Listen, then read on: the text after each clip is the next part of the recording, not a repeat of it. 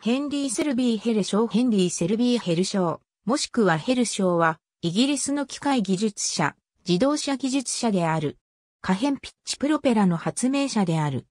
流体工学の分野では、流体の流れを観察するためのヘルショーセルやヘルショー流れなどがヘルショーにちなんで名付けられている。エセックスのビレリキーで弁護士のヘンリー・ショー聖職者の娘のマリオン・ヘールとの間に生まれた。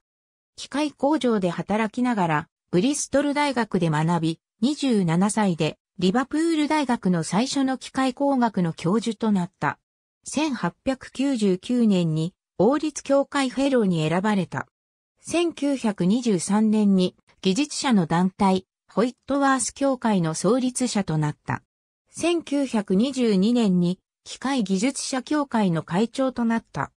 ヘルショー流れは平行板の狭い隙間内の流れ場で、それを観測するためにヘルショーセルもしくはヘルショーセルが用いられる。1924年に自動的にプロペラの向かい角が変わる可変ピッチプロペラを発明し特許を得るが、発明当時は飛行機の性能からそれほどの需要はなかったが、航空の分野では20年ほど経った時期には不可欠な技術となった。ありがとうございます。